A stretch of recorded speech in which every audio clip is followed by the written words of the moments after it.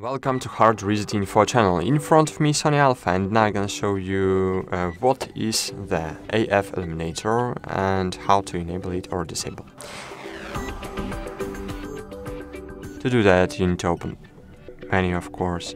In menu find the first blog, then scroll to 6 page and here we have AF Illuminator. We can enable it or disable.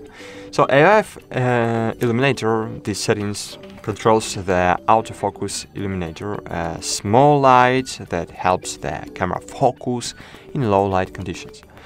Auto mode is when the illuminator turns on automatically in low light to assist with focusing and off the illuminator is disabled, which can be useful if you don't want to disturb the subject uh, or if you are shooting in a situation where additional light is uh, undesirable.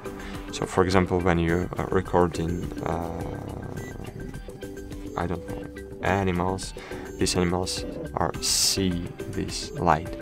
So, in this situation, of course, it's better to disable it. Okay, that's it. Thanks for watching and bye.